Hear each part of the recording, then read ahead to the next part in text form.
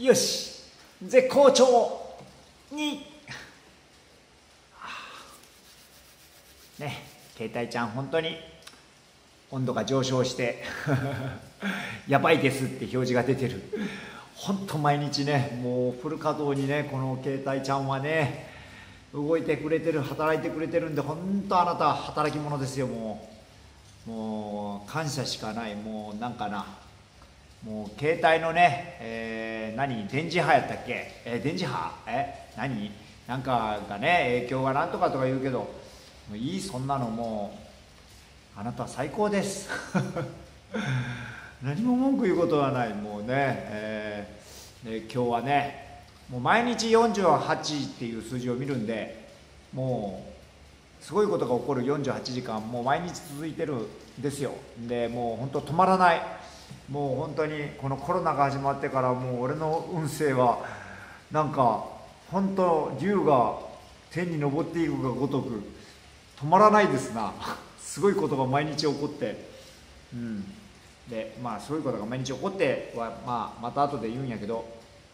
今日の釜明さんの、えー、お題はなんか暗いな。あでもなんかあれかやっぱ温度のかん温度の関係かな。今日はこんな暗さでお願いします。えー、っとねあなたのチャームポイントみたいな。えー、で僕のチャームポイントはうん許せる。何事も許せる。広い広い空のような広い心と海のような深い心が、えー、私のチャームポイントです、えー、もうこれはいつも言ってるように何か許してしまう何かいろんなことがあっても許してしまう。よね。向こうからしたらそれはね正当な話っていうのも分かるし。ね。えー、でも向こうがね、えー、一方的にこっちが悪いと思っててもそれでもまあまあねえー、そんなこともあるさと。その人を恨むような気持ちはやっぱ分かんしだって何をやろうがね最終的に帰ってくるのは自分に返ってくるんでね、うん、そう許せなかったら許許せないことが自分に返ってきますからね。だから許してたら、えー、許されることがやっぱ最終的に返ってくるんで,、えー、で生きてる間に帰ってこんやったとしてもね来世で帰ってくるしもう本当に僕の、えー、中の魂のなんかこう流れっていうかね魂は今世だけではないのでずっと続いてるので気が長いんですよ。ね。よし。そうだから今日の、えー、お題はなんかそんな感じのことを書きましたね、えー、すごいなってみんなねなんか今あのー、みんなの言ってくるお題をなんか鴨脇さんがその中からピックアップしていいのを載せてるんですよみんなよく考えがつくなと思ってね。なんかそういうのは俺なんかあんまいまいちうん出てこんな。お題。なんか1回だけ書いたけどなんかありきたりありきたりっていうかねだってもうシンプルじゃないですか。世の中って、えー、なんかそんな考えられないですね、うん、人生最大に笑顔にななれた時はいつどんなことですか？みたいなことを挙げてみようかな。なんかでも大体もうこのグループってもうみんなあのすごい前向きな、えー、こんなに暗かったっけ？まあいいや。えっ、と前向きな人たちばっかりなので大体もうそういうのも出てると思うんですよ。ね。よし。そんなもんで。朝のお題の話は。んで何？とにかくすごいことが起きちゃいましたよ。えっ、ー、と俺が今言ってるえーとね、ただ言ってるだけの目標。収収入を倍にするんです、えー、仕事量を半分にして収入を倍にする、え、そう言ってたら絶対チャンスがやってくるんですね。であのひとりさんとこのねえっ、ー、とまあ言っていいかもう言っていいっていうか言っていいやろうしこれを別に丸カンねひとりさんのとこのえー、誰かが見てるとは思わん思わんしあの言っても大丈夫だとは思うんですけどもしも後でクレームが来たらすみません。もう大体、えー、ひとりさんのとこにね行って何やったかな？最初にとにかくひとりさんの本でめっちゃあの感銘を受けてででその中になんかエネルギー、えー、その時は大宇宙エネルギー療法やったかな？なんかボランティアでそうやって人に波動をくれる、えー、どういう説明を書いてたか覚えてないけどなんかそういう人を幸せにできるなんかこうことがあるって言ってああでそれはボランティアでしないといけない。お金をねその時その頃はまだもらったらいけないみたいなもらったらいけなかったんですよ。だからあボランティアで無料でできるそういうことがあるんやったらそれを広めたらひとりさんのに恩返しになるなと思ってとにかくあのそうでそれをね、えー、できるとこが中津にあったのででそこにだから俺最初ひとりさんの入り口は不思議なことなんですよ最初からあの健康職員じゃないんですねでそれに行ったら「ひとりさんって何をしてる人か知ってるの?」って言われて「いやあんまよく分かんないんですけど」ってその青汁をね、えー、健康食品をしてる人なんよって言って「あそうなんですか」っつってでじゃあその青汁飲むっていう話になって「いや飲みます」って飲んだら飲んだらめっちゃすごいうんこが出たんですよ。今まで今まで本当ねもう病気オンパレードの体だったんでね、えーいろんなサプリを飲まされた飲ま飲まされたけど、うん、何ら聞く聞いたっていう感じがしなかったんですよ。でもひとりさんとこの青汁だけはめっちゃすごいうんこが出たんですよ。今まで出たこともないようなでそれでもうあ俺の体に合ってるんだってでその後もいやもう10年近くずっと飲んで布と飲んでるんですよ。でその時にあこれみんなに広めたら運動をしなしながらね腸内環境を良くしていったら絶対人って健康になれると思ったからこれをな代理店になる方法ってあるんですか？みたいな。これを売る方法ってあるんですか？みたいな。そしたらあの、まあ、ボランティアでね、えー、人に勧めたりしよったらいいみたいな感じで。でまあしてたんやけどなんか運動指導とその健康食品っていうのがなんかいまいちね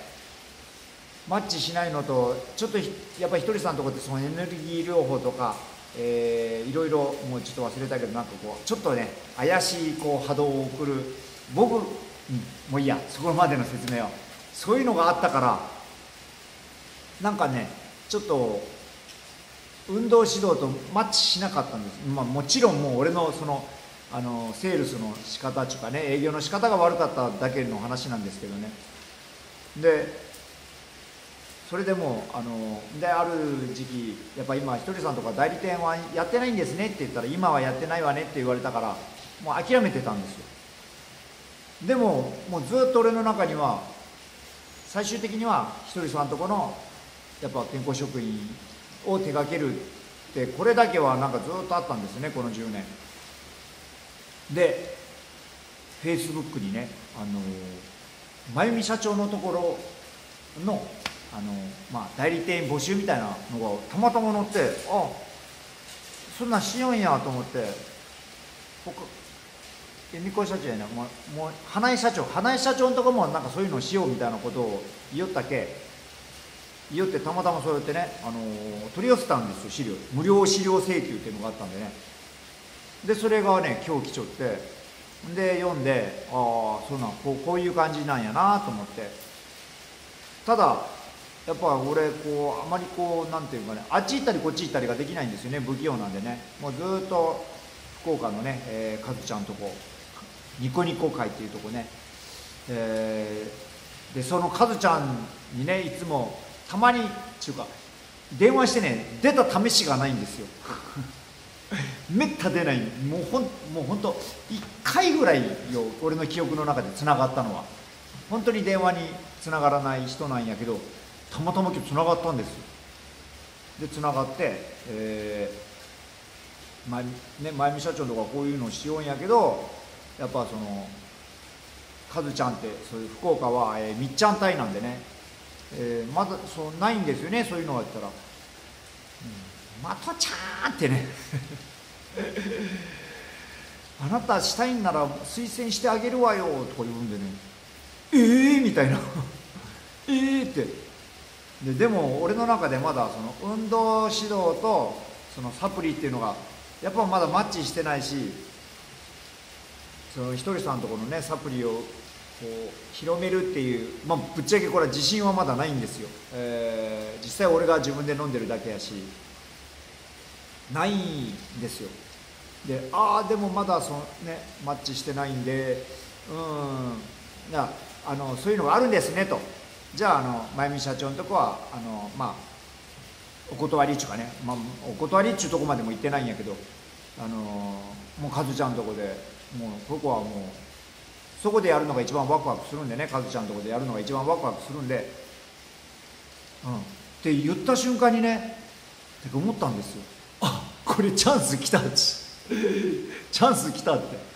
俺の中でちょっとざわつきあるし自信ないけどもう完璧にこの自信ないけどっていうなんか、まあ、ある意味ちょっとピンチっていうかね。ちょっと,、えー、とやったことないしわからんと思ったんやけどだって簡単ですもん。大抵そのまんま丸コピーすればいいだけ。これこそ本当に素直に言われたことをそのまんま丸コピーすればいいだけやん。それもずっと10年間近10年近く付き合いのあるカズちゃんとこでやればいいだけの話やけこれは絶対チャンスやんと。ちょっとざわついてるけど。うん。でねまあ12分や。まだいいな。でちょちょっと待ってって言った瞬間あでもカズもうカズちゃんもこれは俺今気づいた。これチャンスや。もうお願いしますと。申し込んでくださいと言ってくださいと、あ 代理店になれるかもしれない。ひとりさんとこの。うんその後はもうもうもうもう何も考えないです。もうもうそのまま言われたことをやるだけです。ね。えー、教えてもらう通りにやるだけ。丸コピー。もうここはもううんもすも何も考えない、えー、だからねすごいやっぱね言ってるだけの目標ってすげえなと思ってねでそのチャンスをえー、もう気づく、ねえ、チャンスをアンテナを張ってるだけの話でねでそれは絶対ちょっと最初だけちょっとピンチっていうか、うん、って過去のトラウマとかねそれやっぱうまくいかなかったようなのが浮かぶけどでも絶対そんな難しい話じゃない。でその答え合わせかのように、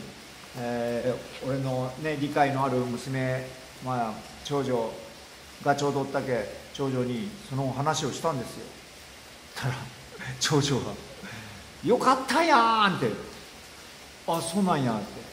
長女に長女にあのねまあ少しずつやって俺が軌道に乗ったらね手伝ってもらうことがあると思うけどよろしくねって言ったらね長女が「任しといて」って言うけ。マジですか？みたいなね。もうそれもだってねもう丸カンがやってることの丸コピーすればいいだけの話なんでね。え？ちょっとある意味ワクワクしかない。ねえ。もう長年の夢っていうか、えー、ねこれ絶対にひとりさんとこのサプリをね、えー、やるだろうと思ってたことなんやけど全然漠然とでもその取っかかりがなかったものがこんな形でポンってやっぱやっぱもう奇跡ってすごいですね、えー、もう本当に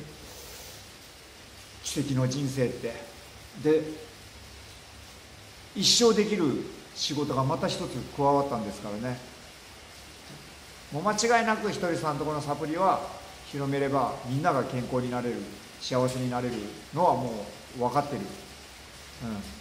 うん、あとは一生広める。これでも広め,、ま、広めます広めますかっていう。試験が来た時に笑顔で「広めますよ!」って言えばいいだけの話なんで最高ですね。そんくらいにしとこう。でねいつもひとりさんの言葉を広め合ったご褒美かなこれも。そう。ほんで今日またその今日そのねその日にまたこれが「はい」は見事な「はい」笑顔は見事な笑顔。それが商人。同じ「はい」と返事をするならハキハキした「はい」という返事の方がいいですよね。笑顔もニタッと笑うよりニコッと笑った方がいいですよね。たったこれだけであなたは福の神がつくか貧乏神がつくか決まるんですよ。はい。今日ね。えー、速攻の「はい」ではなかった。もうぶっちゃけちょっとちょっとまだ俺の中で、えー、運動とサプリが融合してないんでちょっと待ってって言ってでもすぐあ違う違う違うってこれチャンスやんってね。ねいやカズちゃんすみませんもう俺の中で今すごい気づきがあったからもうもうねお願いしますと、うん、1.5秒。1.5秒ぐらいで「はい」って言えたので笑顔でね。もうもうもうもうもう OK 今日は OK いやどうなるか楽しみやな。もうなんかちょっともうワクワクワクワクしても寝よう。よしそんな感じですよ。今日は今日もすごいこと起きましたよ。ね、えー、またひとりさんに少し近づけたような気がします。よかったね。はいほっほっはははほっほっはははイエーイ。いいだいいだ。イエーイ。嬉しい。大丈夫手順かよ。大丈夫大丈夫大丈夫大丈夫大丈夫大丈夫大丈夫大丈夫大丈夫大丈夫 OK なんとかなる手順かよなんとかなるなんとかなるなんとかなるなんとかなるなんとかなるなんとかなるなんとかなるなんとかなるなんとかなるなんとかなるついてる手順かよついてるついてるついてるついてるついてるついてるついてるついてるついてるついてる OK よっしゃじゃあ高評価ボタンチャンネル登録体にいい話メンタルにいいな話栄養にいい話笑う話うんとうんとうんと小説の第一話見てください。ああ今4級見たけどもいい今今終わった瞬間4級4級よくなる4級見たいっていうすごいねこれね。よしついてる笑顔で。にゃねずっと本体の温度が上昇したためカメラ機能が利用できません。これ俺止めた後に録画できてねかったとかいうことないよな。まあいいや。でついてる笑顔で2やったやな。ついてる笑顔で2もう一回言っとこう。プチ